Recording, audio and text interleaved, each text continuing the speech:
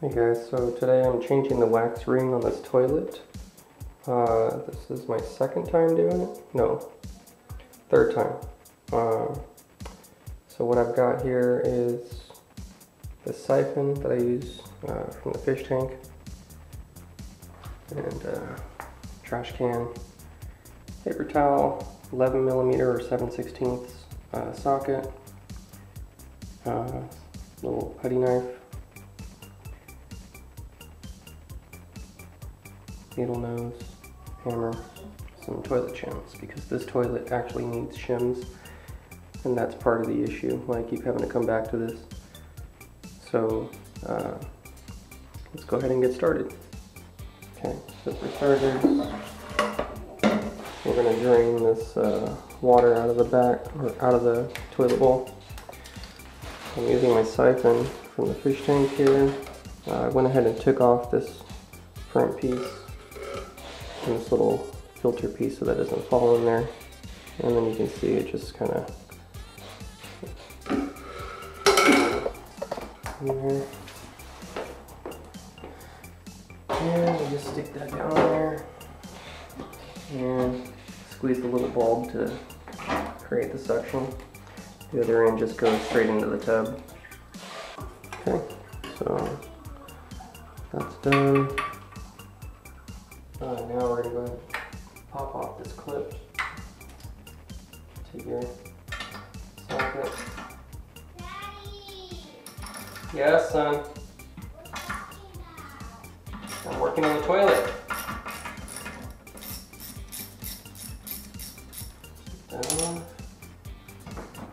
Hold on.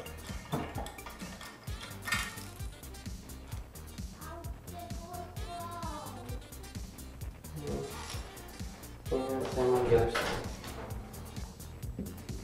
So, now that you've got those bolts taken off, you just need to disconnect the water supply line. Uh, so just turn that to the left there and uh, have a little cup or a rag down there to catch any residual water in that hose. Uh, that may that'll end up coming out. Uh, you can just go ahead and pull the toilet off. The only thing holding it on there now is just the weight of the toilet. So, Daddy. Hold on though. Just take it up straight off and slide it back. And there it is. So I've got this uh, standard size uh, wax ring here that came with the toilet, which uh, is a replacement for one that failed prior. Um, I had a jumbo ring on this before, and before that, when we first purchased the home, uh, I think the people smashed two jumbo rings together or something uh, onto there. I don't know what they did, but it was just covered everywhere. And this adapter here, I actually added to it because the flange down there was completely rusted and rotted uh, with no place to hold these little anchor bolts here.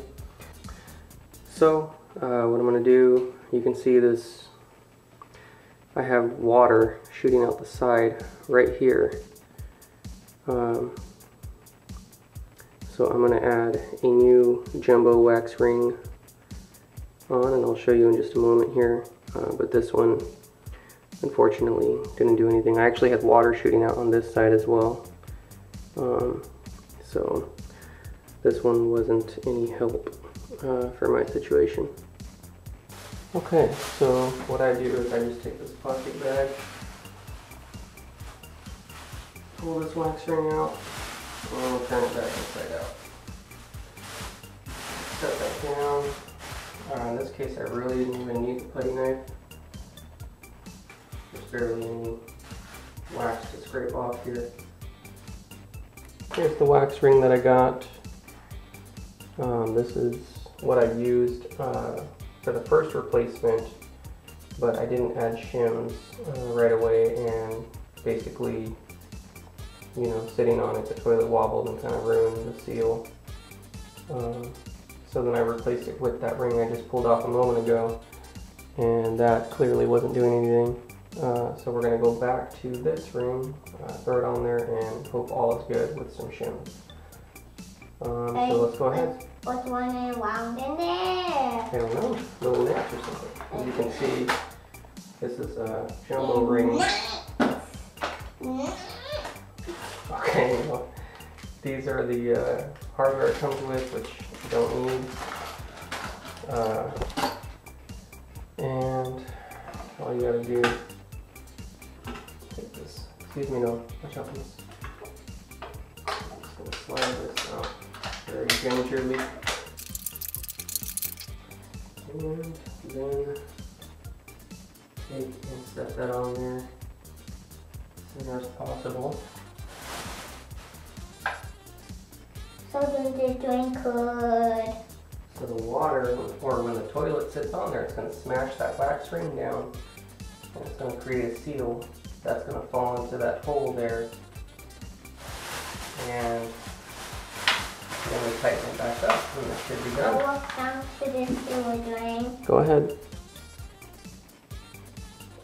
There's Gucci water down there. Yeah, it's gross, huh? It's a stinky sewer, man. Don't look down there. It's gross. Okay, so let's go ahead and place the toilet back on. This is very heavy. It is very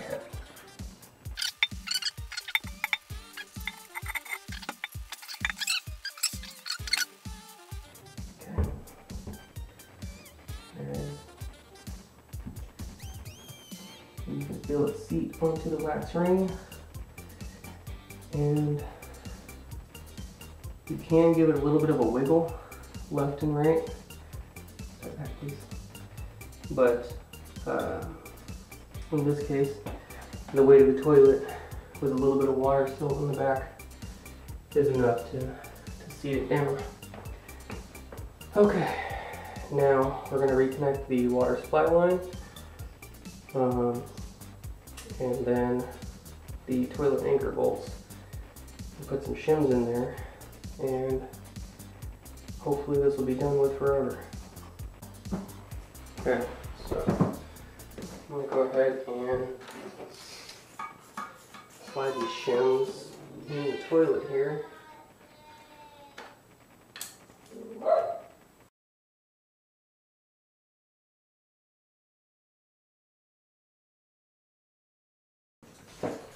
So that's it. So this toilet basically used two packs of shims. Um, these are about like five bucks each at Lowe's. And uh, yeah, it needed it. So I think that should take care of the issue, um, hopefully. Now let's put these bolts back on. Okay.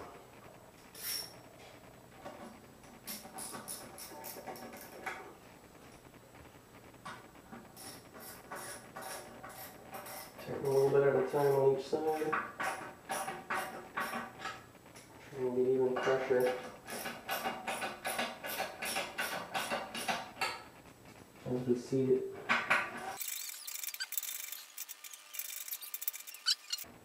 That's done. So I've just got them snug on there. Um, you know, we don't want to over tighten them. And now we're gonna go ahead and turn the water back on, flush it a few times, and see see if we uh, have any leaks. Let's hope that we do not. Let that water refill, and we're gonna find out in a moment.